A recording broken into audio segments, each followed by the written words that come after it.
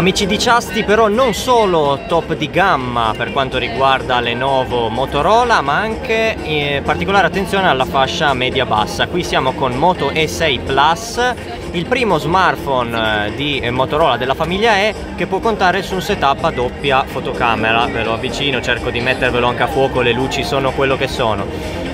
Qui abbiamo un dispositivo che negli interessi di Motorola dovrebbe sfondare nella fascia bassa e competere contro gli Xiaomi e contro eh, la mm, competizione che è sempre più agguerrita nella fascia bassa sotto i 200 euro. Qui siamo abbondantemente sotto quella cifra perché a 129 euro ci si può portare a casa un dispositivo con una eh, fotocamera, la principale a 13 megapixel e la doppia per effetto bokeh, un 8 megapixel frontale nel notch per quanto riguarda la fotocamera selfie abbiamo nel logo M come eh, siamo soliti vederlo negli smartphone di fascia medio-bassa un eh, lettore delle impronte digitali. Abbiamo una batteria da 3000 mAh comunque che insieme al software stock potrebbe eh, veramente rappresentare un'ottima opzione ricordandovi soprattutto il prezzo 129 euro. Quindi